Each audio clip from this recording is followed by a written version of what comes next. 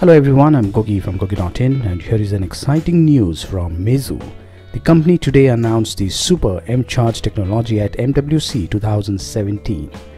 With this mCharge technology, a smartphone with a 3000 mAh battery can be fully charged from 0% to 100% in just about 20 minutes.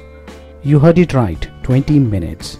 In fact, Meizu claims that uh, their technology is much better than Quick Charge 3.0 that makes use of 18 watt power.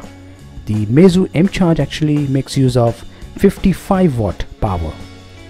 This fast charging technology is also very efficient when compared with the other fast charging technologies.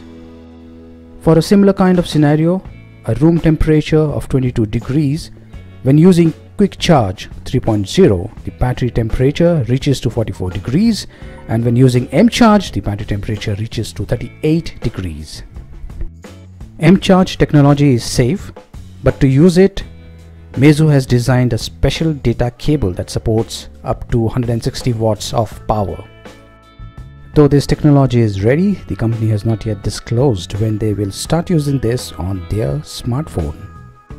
Do like this video, do leave a comment and do subscribe to my channel because there is a lot of giveaways coming up. Stay tuned.